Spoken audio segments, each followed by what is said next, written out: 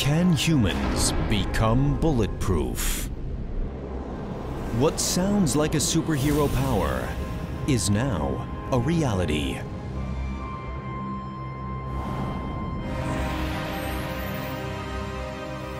Scientists have injected spider DNA into goats.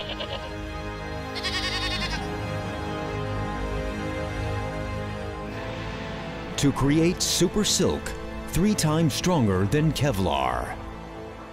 And that is just the start. Spider silk is composed almost entirely of protein. It's about three times stronger than Kevlar and about 10 times stronger than steel, and more elastic than nylon. We grow large amounts of spider silk gene. We cut the gene, we splice it into the goat DNA, and we splice it together.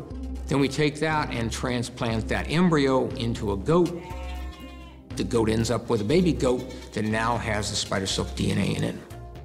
But Dutch artist Jalila Essaidi and her team had an even bolder idea. They merged the silk with the lab-grown human tissue.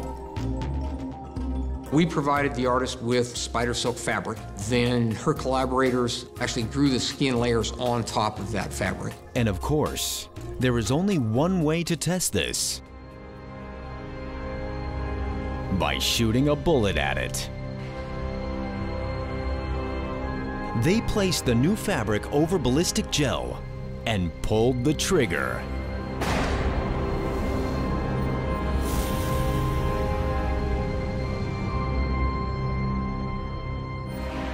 The spider silk withstood the speeding bullet.